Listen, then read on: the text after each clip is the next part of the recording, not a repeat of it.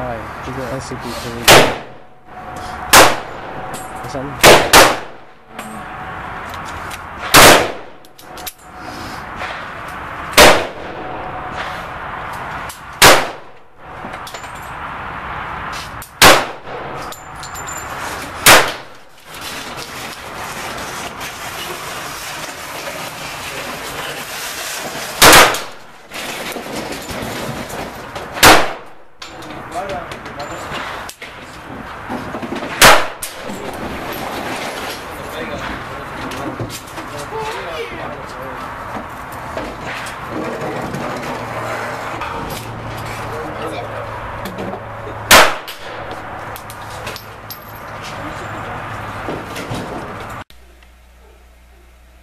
YouTube, PNY Prepper here.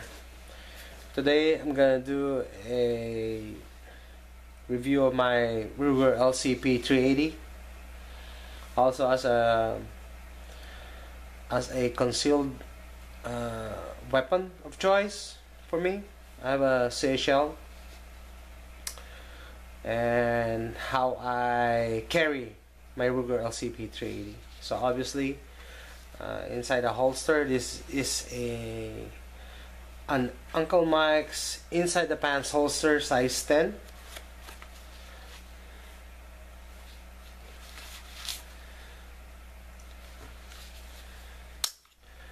magazine safety check. I, I carry my gun in condition 3 I know. Uh, some YouTube experts will say that you know you have to put a round in the chamber. But it depends. It depends on you. It depends on your training or where you're going. Are you going in a hostile environment? Or you know it depends on you. If you're trained to to draw and to rock the slide in a few seconds. So it's it's a preference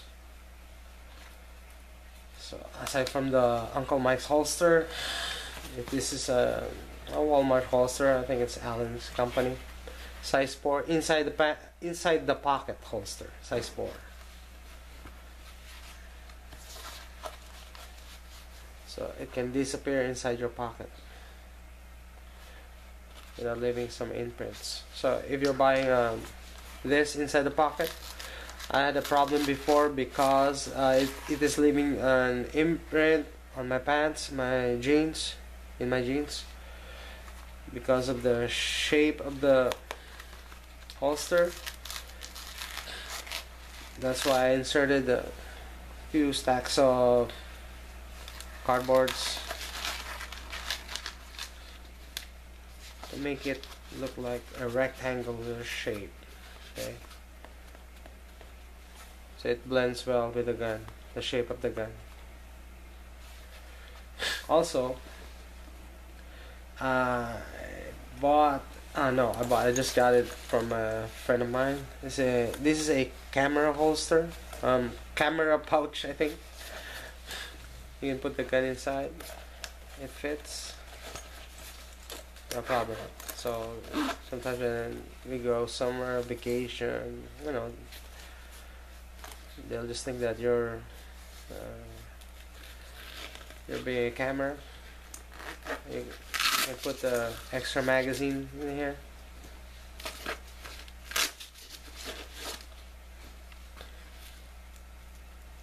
This is low pro. Fairly small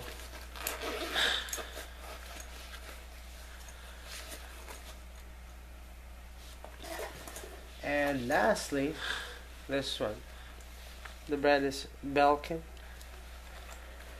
I bought this from Goodwill for three bucks. I think it's brand new when I got it. It is. This is where you put normally your phone. You can put your gun here. Okay. You put your gun. Close it Oh, it's bulging? Maybe it's quite hard. Okay, then this is how you put it. It doesn't bulge. See?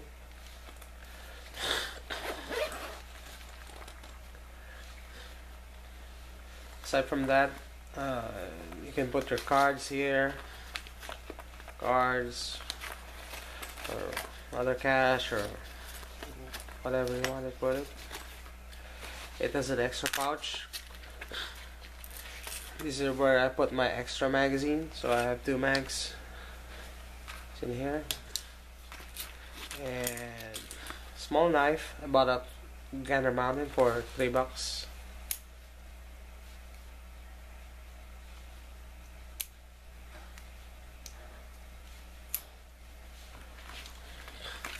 And extra ammo okay?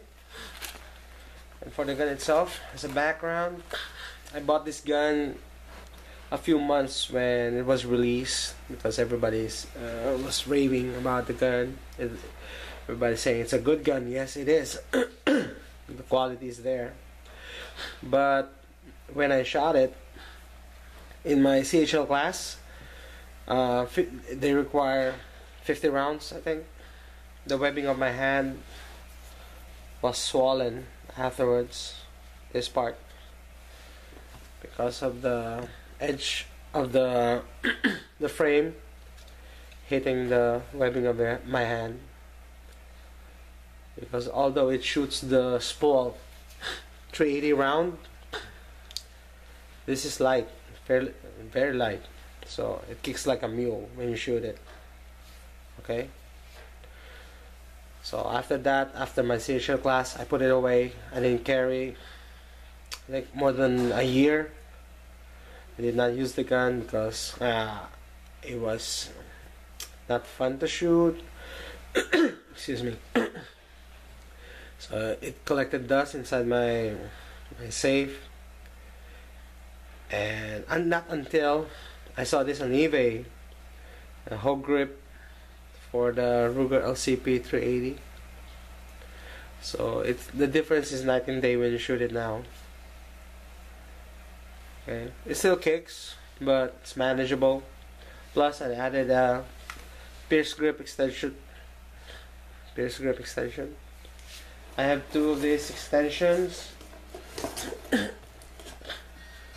but I only use one see. Our Pearce extensions. I only use one because it leaves an imprint or it sticks out.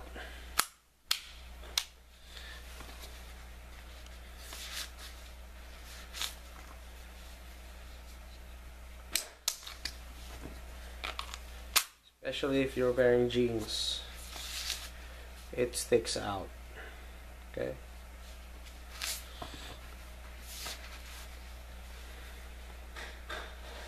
See?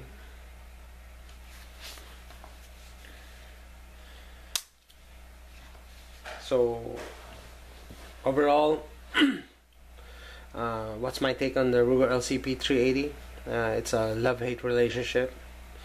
I hate it because it's not fun to shoot, definitely not a range gun. But as a backup gun, reliable, and I have no problems shooting it uh, when shooting it uh, uh, at the range. And also, it shoots straight. Surprisingly, on my video, um, I got a bullseye with this Ruger LCP 380 and I have good groupings every time I shoot this so it's accurate gun. Okay now I'm gonna attach my shooting videos last weekend. Thank you